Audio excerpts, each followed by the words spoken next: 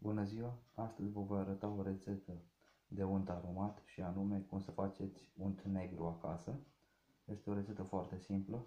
Pentru această rețetă veți avea nevoie de 100 de grame de unt pe care îl lăsați 20-30 de minute uh, la temperatura camerei ca să se înmoaie, 150 de grame de măsline cu sâmbure, dacă folosiți cele fără sâmbure, uh, utilizați 100-120 de grame, un vârf de linguriță de piper, o linguriță de oregano uscat, dacă nu vă place gustul de oregano, puteți să înlocuiți cu busuioc și un cățel de usturoi. Tăiem măslinele de pe sâmbure, așa, le tăiați, apoi după ce formați uh, partea plată, o rostogoliți și tăiați în continuare până tăiați toate patru părți de la măslină. După ce ați tăiat uh, măsline de pe sâmbur, așa, dacă aveți fără, nu e nicio problemă, dar eu am avut cu sâmbure pentru că îmi plac mai mult, deoarece am mult gust. Uh, o să le puneți într-un mojar ca acesta. Dacă nu aveți, puteți să folosiți acel mojar de tip vechi în care se face moșdeul de usturoi dar adăugați de, de două, maxim trei ori uh, pe rând măslinele pentru că vor fi prea multe și nu o să uh, se sfărâme. Apoi pisați-le până devin o pastă fină. Măslinele sunt în mojar. Uh, acum presați-le foarte bine cu pistilul până devine o pastă foarte fină am măslinele, cam așa arată.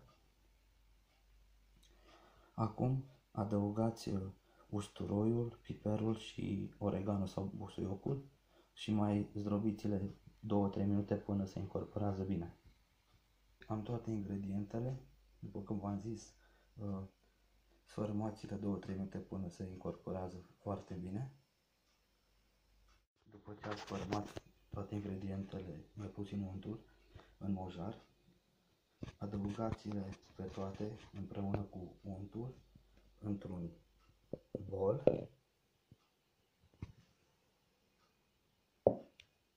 Am pus ingredientele și untul în castroni. Acum cu un uh, pisător de pentru făcut piure sau un tel, zdrobiți-le bine până se incorporează măslinele în unt.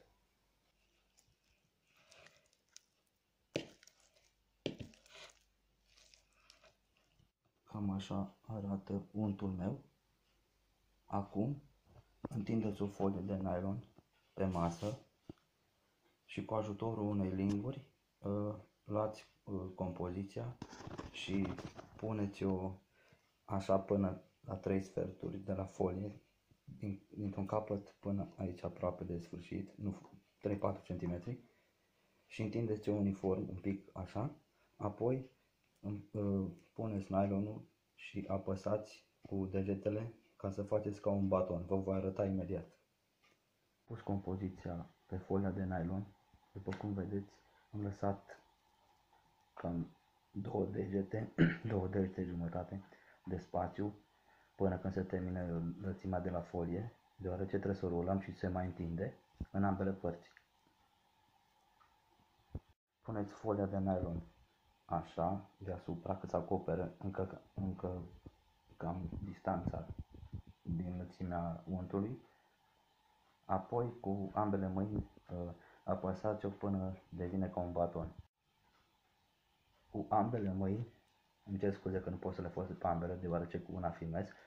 Uh, cu ambele mâini luați uh, untul, după ce ați pus folia așa mai uh, lată aici și apăsați cu degetele, aceste două degete, apăsați-l așa până devine de cam aceeași lățime.